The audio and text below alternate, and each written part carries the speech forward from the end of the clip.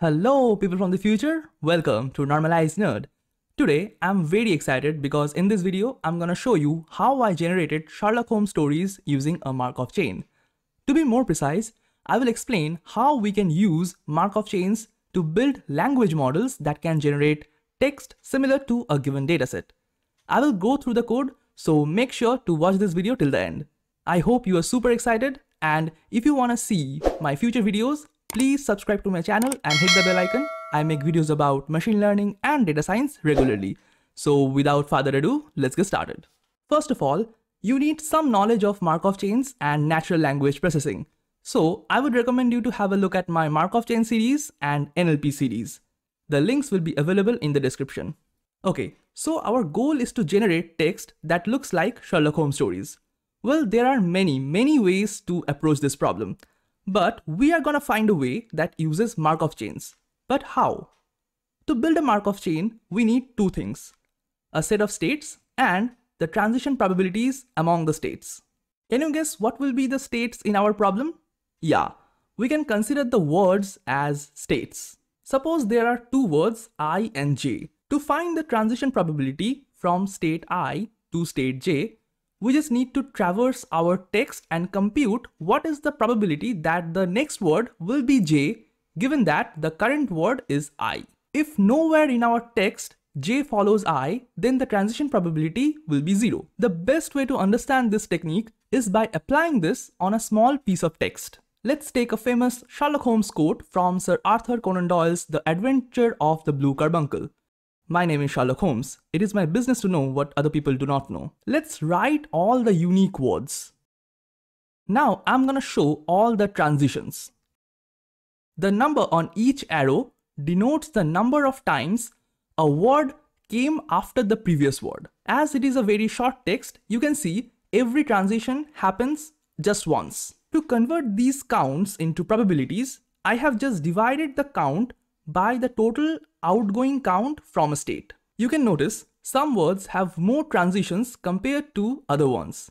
And if we have a large piece of text, then some transitions will be much more common than others. You can imagine these as statistical properties of the given text data.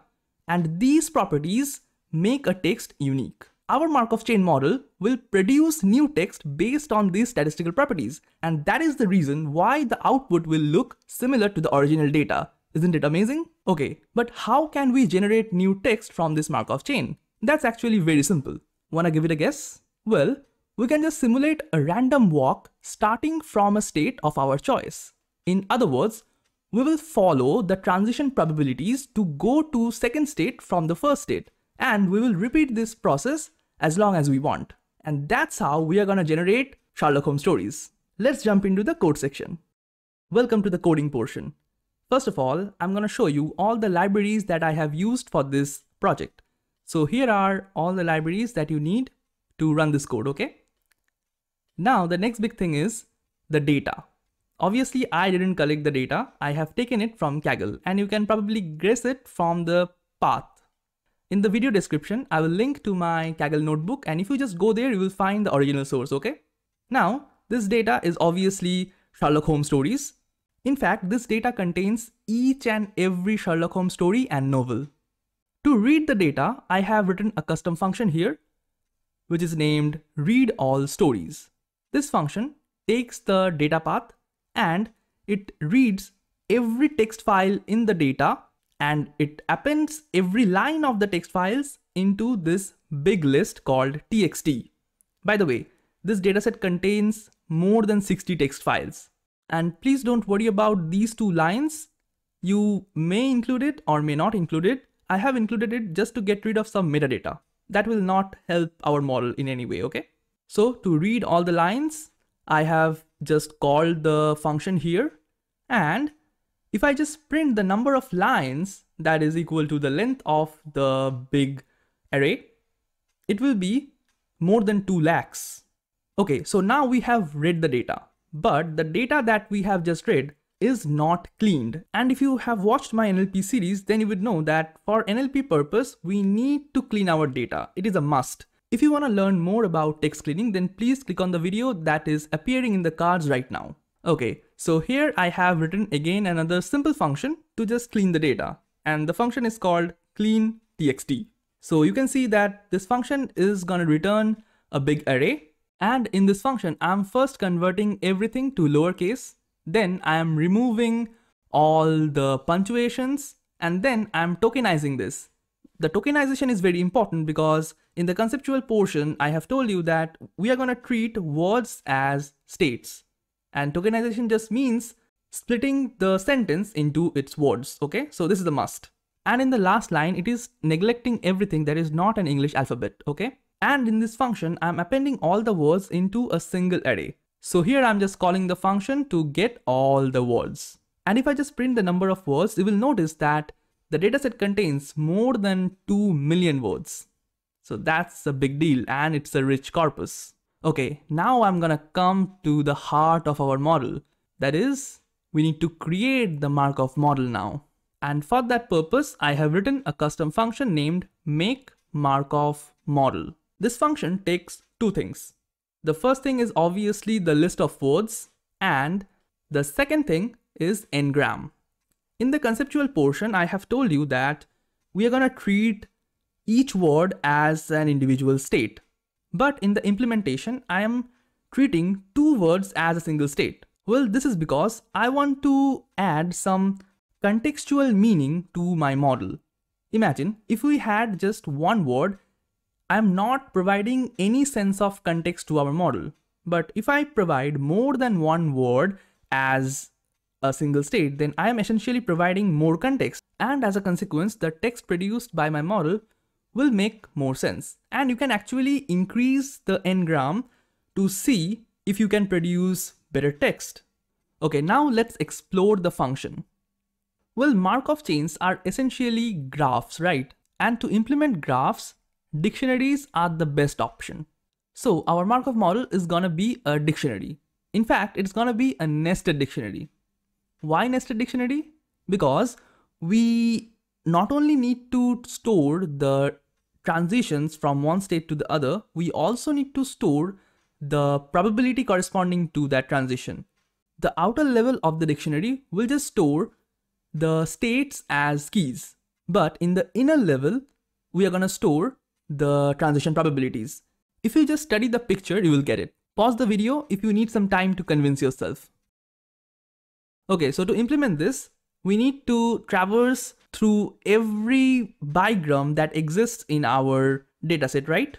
First, I am just initializing current state and next state as empty strings and then I am assigning the correct values and we need this in a loop to actually make the n-grams. The empty strings at the end are just for decoration purpose. If you just run this code, you will understand why these are needed, okay? This code is very simple. I'm not gonna waste your time by explaining this. Okay, so once we have got our current state and next state, we need to include them in our dictionary. And to avoid duplicate states, first, we need to check if the current state is already present in the dictionary or not. If it is not present, then we just need to insert this as a key. And obviously we need to initialize the count as one. On the other hand, if the current state is already present in the dictionary, then we need to check if the next state is also present. If this is also present, then we need to just increase the count. But if next state is not present, then you need to insert the next state and initialize the count as 1. Make sense? Okay, now we need to compute the transition probabilities from the counts. Well, as I mentioned in the conceptual portion, this is very simple to do. You just need to do the division by total count. Okay, now I'm just gonna call this function to make our Markov model. If I just print the number of states in our Markov model, you will see that it is more than 2 lakhs. So it's a pretty big model and hopefully it's gonna work well.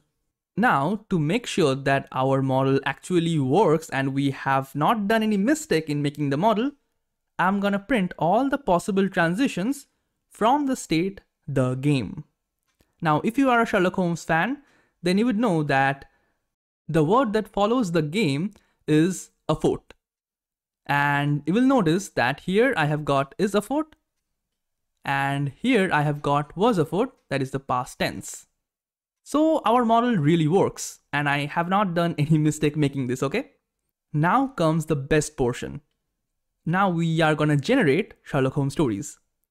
So to do this, I have written again a custom function here, generate story. So this function obviously takes the Markov model and you can limit the number of states that it generates and obviously the starting state. Because depending on the starting state, the model will generate a new story. So I'm not going to explain this function. This is very simple. Just pause here if you would like to see what is happening in the function. I'm just going to jump into the results, okay? Here I have produced 20 sentences, each starting with the same starting state, that is, Dear Holmes. And I have chosen limit as 8 and it will produce 9 states, okay? And as I have got 2 words per state, so it's gonna produce 18 words. So here are all the sentences that my model has produced. And if you just go through each sentence, you will notice that most of them makes no sense, but the grammatical structure is quite correct. And this is because this model has followed the statistical property of the original text. And if you notice carefully, you will find that some bits of the sentences makes complete sense. For example, if you just look at this, Dear Holmes, he has always answered me like this. This is a correct sentence, right? Or at least a part of sentence.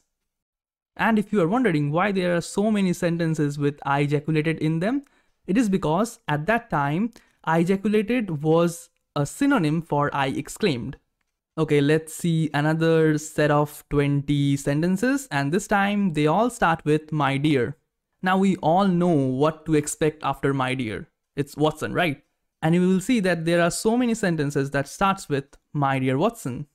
So this model is working. Again, a set of 20 sentences that starts with I would. I'm not going to read them, just go through them and you will find a couple of them really interesting. Okay, so I'm going to end this video by showing you this one.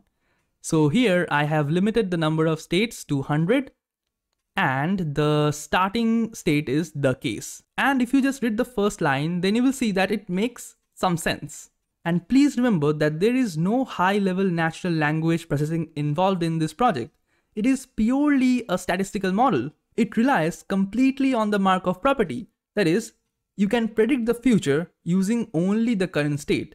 You do not need to see the past. I guess this kind of result for such a simplistic model is truly amazing. So that was all for this video guys. I hope you really enjoyed this video.